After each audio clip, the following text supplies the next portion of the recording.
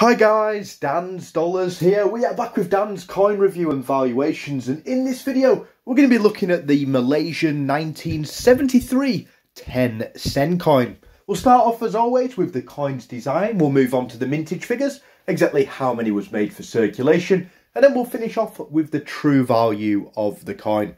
So starting off on the left, we've got Malaysia, the country where the coin is from at the top.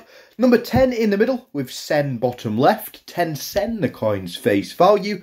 1973, the year the coin was made, and either side of 10 there, you've got two pairs of hibiscus flowers, and this is the national flower of Malaysia.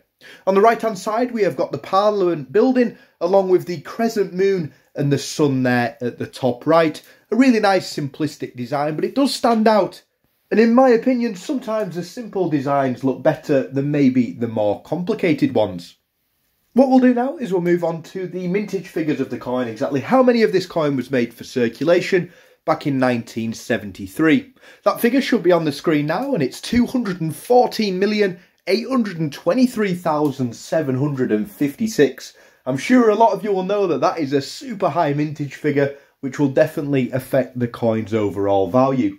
It does mean then a perfect uncirculated coin is worth between the £1.50 and £1.75 mark, and a circulated version is only really worth around 40 to 50 pence. Again though, this is good news if you want to try and get some world coins into your collection for quite cheap.